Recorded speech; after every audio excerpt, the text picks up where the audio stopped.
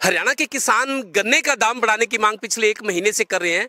प्रदर्शन भी किए, इन्होंने सड़कें जाम भी की, लेकिन अभी तक मामला पेंडिंग था। मुख्यमंत्री जी ने कमेटी बनाई थी कि कमेटी जो फैसला देगी, उसके हिसाब से सरकार कदम उठाएगी। 20 तारीख से 20 जनवरी से चीनी मिलों पर हरियाणा में किसानों ने धरना शुरू कर दिया सरकार पर दबाव बनाने के लिए और ये बताने के लिए कि हमारी मांग मानो हम तभी पीछे हटेंगे। बीस तारीख से चीनी मिलों में काम बंद है, ये पानीपत की चीनी मिल है। सबसे पहले आप बताओ जी, इंतज़ार था बाईस तारीख की मीटिंग का। आप भी उम्मीद लगा बैठे, कोई आदमी सोचता है समाधान है, समाधान निकले, अपने काम में लगे। कल कोई नतीजा नहीं निकला, अब आगे क्या होगा?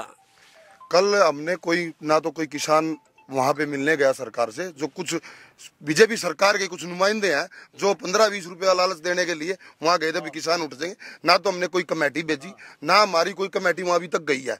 हमारे से या तो सरकार का कोई मंत्री या सरकार का कोई मेंबर या कुछ खुद सीएम कोई स्टेटमेंट देंगे आके हमारे को उठाएँगे।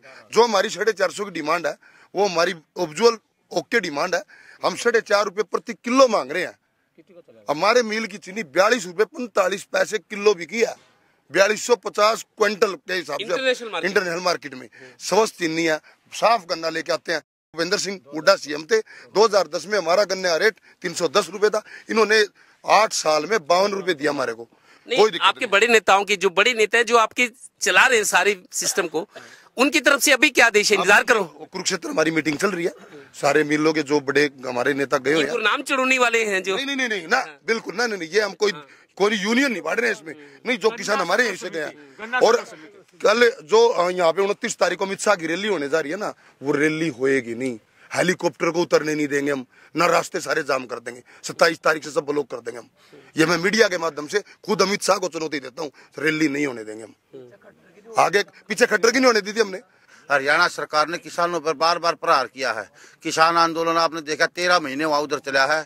नेशनल कैपिटल को किसानों ने तेरह महीने तक ठंड में पड़े, वहाँ पे बैठे रहे। सात सौ से ज़्यादा किसानों को शहादत नहीं हुई। क्या हम पाक, हमारे को अलगाववादी, पाकिस्तानी, तालिबानी, पता नहीं क्या क्या अमित शाह द्वारा, खट्टर द्वारा हमारे को कहेगा मोदी जी ने जो किसानों के नारे पे देश में आया था, जिसने ये आश्वासन दिया था, मैं कह, मैं दुगनी आय करेंगे 2022 में दुगनी आय हो जाएगी। और अच्छे दिन के जो वादे किए थे हम तो हाथ जोड़कर मोदी जी को कहते हैं मोदी जी हमारे पुराने दिन लौटा दो हमने अच्छे दिनों की ज़रूरत नहीं हमारे पुराने दिन ही बढ़िया थे। आप कांग्रेस वाले हैं समर्थन देने आए हैं क्योंकि कई जगह हो भी रहा है और आपको शायद मुद्दा चाहिए था बहुत बड़ा मुद्दा मिल गया किसानों का। सबसे पहले तो मैं आपके माध्यम से ये बताना चाहता हूँ कि ये पॉलिटिकल पार्टी में मैं बाईस तेईस साल से कांग्रेस में कार्य करता हूँ लेकिन आज मैं अपने समाज के साथ किसान का बेटा हूँ मैं। मेरे माँ बाप ने किसानी करी है और जो ये गन्ने की ट्रालियाँ कहीं ना कहीं देख रहे हो इसमें से एक ट्राली हमारी भी है। तो पहले किसानी के हिसाब से बैठा हूँ मैं मेरे बड़े बुज़ुर्ग बैठे हैं नौजवान साथी बैठे हैं। कोई भी आंदोलन होता है मैं राजनीतिक पार्टी को अलग रखते हुए और किसान का बेटा होने के नाते समाज की पहले सेवा करता हूँ। रही बात आपने कहा कि मैं कांग्रेस पार्टी से संबंधित रखता हूँ। मैं गर्व से कहता हूँ कि मैं कांग्रेस पार्टी से संबंधित रखता हूँ। आप बताओ युवा किसान है। किसान नेता है जैसा मेरे को बताया भी जा रहा है। अब क्या आगे क्या? क्या आपके हिसाब से क्या होगा अब आगे? देखिए, होना तो ये चाहिए था था, जिस तरह आदरणीय प्रधानमंत्री श्री नरेंद्र मोदी जी ने कहा था कि हम सत्ता में आते ही पहली कलम से किसानों को स्वामीनाथन आयोग की रिपोर्ट लागू करेंगे और किसानों की आय 2022 तक दोगुनी कर देंगे। तो हमारा तो सवाल सरकार से ही बनता है कि जो सरकार सत्ता में आने से पहले बोलती थी कि हम किसानों को स्वामीनाथन आयोग C two plus fifty percent के तहत एमएसपी देंगे, अब वो सरकार 2015 में एफिडेविट देती है सुप्रीम कोर्ट में कि अगर किसानों को एमएसपी दिया गया तो वित्तीय घाटा हो जाएगा। अब 2022 भी जा चुका है किसानों की आय दुगनी हुई।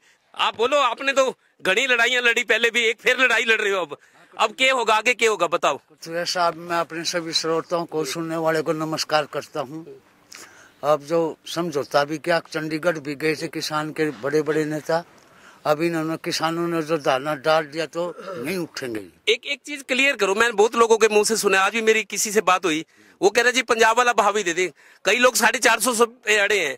अब साढ़े चार सौ रुपए अगर आपको सरकार देगी तो चीनी तो फिर साठ रुपए पचास रुपए किलो बिकेगी। गरीब आदमी का भी ध्यान रखना है ना।